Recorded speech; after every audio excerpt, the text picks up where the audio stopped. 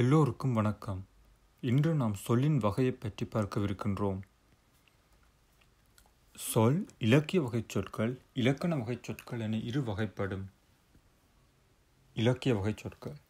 இயற்சொல் திரிசொல் திசைச்சொல் வடசொல் என இலக்கிய வகைச் சொற்கள் நான்கு வகைப்படும். முதலாவதாக இயற்சொற்கள். கற்றார் கல்லாதவர் ஆகிய இரு தரப்பினரும் படித்து புரிந்து கொள்ளக்கூடிய சொற்கள் இயற்சொல் எனப்படும். மலர் மான் அணில் ஆடு முதலான சொற்கள் எளிதில் படித்து புரிந்து கொள்ளக்கூடியவை. ஆதலால் எச்சொற்களாயின. இந்த எச்சொல் பெயர் எச்சொல் வினை எச்சொல் என இரு வகைப்படும். காற்று நிலவு மண் மரம் போன்ற இயற்சொற்கள் பெயர் சொற்களாதலால் இவை பெயர் எச்சொற்கள் ஆகியன. உண்டான் உறங்கினான் படித்தான் பாடினாள் போன்ற சொற்கள் வினைச்சொற்களாதலால் இவை வினை எச்சொற்களாயின. அடுத்ததாக திரிசொல். கற்றவர்கள் மட்டுமே புரிந்து கொள்ளக்கூடிய சொற்கள் திரிசொற்கள் எனப்படும். உடலை காயம் என்றும் மேகத்தை மஞ்சு என்றும் சோற்றை அன்னம் என்றும் சொல்வது திரிசொல்லுக்கு எடுத்துக்காட்டுகள் ஆகும்.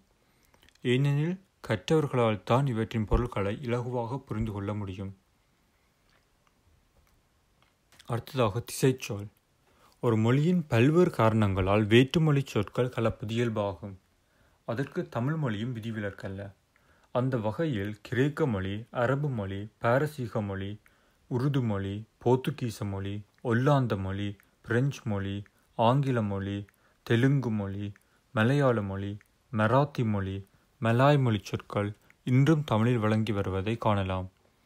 எடுத்துக்காட்டாக எண்ணல் சப்பாத்து கதிரை குசினி வக்கீல் பீரோ சைக்கிள் போன்ற சொற்களை குறிப்பிடலாம். இறுதியாக வடசொல். வடமொழியில் இருந்து வந்து தமிழ்மொழியில் வழங்கி வரும் சொற்கள் வடசொல் எனப்படும்.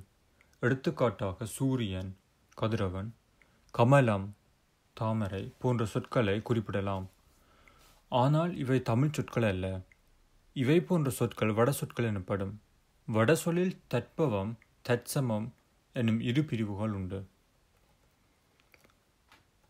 இந்த வீடியோ பார்த்த அனைவருக்கும் நன்றி. மீண்டும் ஒரு வீடியோவில் சந்திப்போம்.